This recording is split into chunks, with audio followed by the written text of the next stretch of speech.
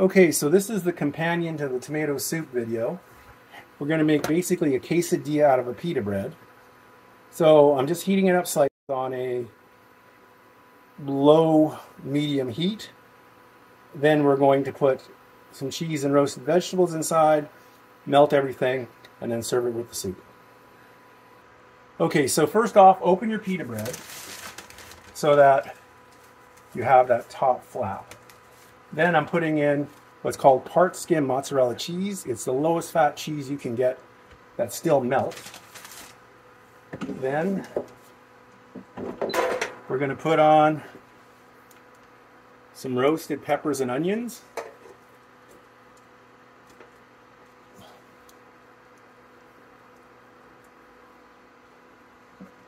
Then we'll cover it. Now, there's no oil in this pan.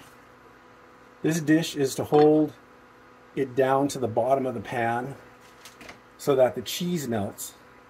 And uh, it'll also crisp up the pita bread while it's melting the cheese.